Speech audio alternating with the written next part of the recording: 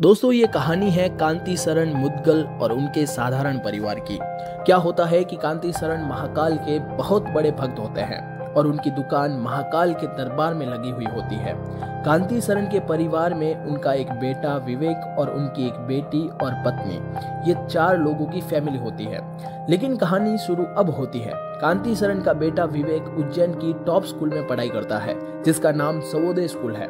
कांति शरण का परिवार बिल्कुल संस्कारी होता है, लेकिन होता यह है कि जिस स्कूल में विवेक पढ़ता है, वहाँ कुछ बच्चे विवेक को परेशान करने लगते हैं और उसको चिढ़ाने लगते हैं। ये कह के कि उसका लिंग बहुत छोटा है। तब विवेक इस बात से परेशान हो जाता है और वो उसको बड़ा करने में लग जाता है।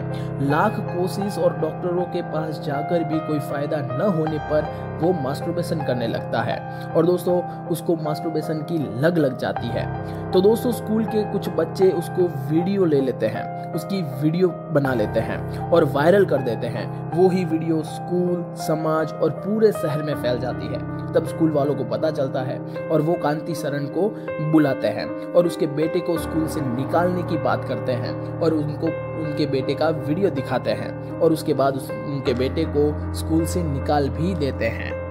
उसके बाद उनका सोसाइटी में और सभी जगह पर अपमान होता है। अब बात करते हैं अक्षय कुमार की। तो उन्होंने मैसेंजर का किरदार निभाया है। कांति शरण महाकाल से प्रार्थना करते हैं कि वो अपने पुत्र विवेक की रक्षा करें। तो अक्षय कुमार बार बार कांति शरण को मिलते रहते हैं और अच्छा अच्छा ज्ञान देते रहते हैं। फिर कांति शरण उज्जैन छोड़कर भागने की कोशिश करते हैं और अपने परिवार के साथ, लेकिन वहाँ पर अक्षय कुमार उनको मिल जाते हैं। और कांति शरण को समझाते हैं कि उनको कोर्ट तक जाना चाहिए। तब कांति शरण वापिस अपने घर जाते हैं और दूसरे दिन वो कोर्ट जाते हैं। और वो स्कूल और डॉक्टर समेत कई लोगों के खिलाफ मानहानि का दावा लगाते हैं। और दोस्तों, ये कोर्ट का सिलसिला मूवी में काफ़ी शानदार दिखाया गया है, जो मैं अपने शब्दों में बयान नहीं कर सकता। बार बार अक्षय कुमार, कांति शरण को समझाते रहते हैं और कोर्ट का सिलसिला आखिरी तक चलता है। दोस्तों, कांति शरण जो हैं, वो बताना चाहते हैं कि उनके बेटे ने जो मास्टरबेशन किया है, वो गलत नहीं है, क्योंकि ये चीज़ स्कूल वालों को सिखानी चाहिए थी, क्योंकि मास्टरबेशन का नॉलेज नहीं होने के कारण कांति शरण का बेटा विवेक डिप्रेशन का शिकार हो जाता है। वो चाहते हैं कि उनके बेटे ने कोई गलत काम नहीं किया है, उनकी स्कूल के कारण उनका और उनके बेटे का नाम खराब हुआ है, और स्कूल उनसे माफ़ी मांगे। दोस्तों, यही चाहते हैं कांति शरण मिश्रा।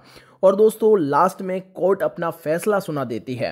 अब दोस्तों, रही बात अक्षय कुमार की तो दोस्तों, अक्षय कुमार ने काफ़ी शानदार किरदार निभाया है। उनका जो किरदार है, वो फ़िल्म में काफ़ी अच्छी तरीके से दर्शाया गया है। दोस्तों, वो मैं अपने शब्दों से बयान नहीं कर सकता। और दोस्तों, जो मूवी में जो भी किरदार निभाए गए हैं, पंकज त्रिपाठी जी ने जो जो अपना जो किरदार निभाया है, यामी गौतम ने अपना किरदार निभाया वो काफ़ी शानदार है। आप चाहें तो वो मूवी देख सकते हैं, बहुत शानदार मूवी है, मैं आपको रिकमेंड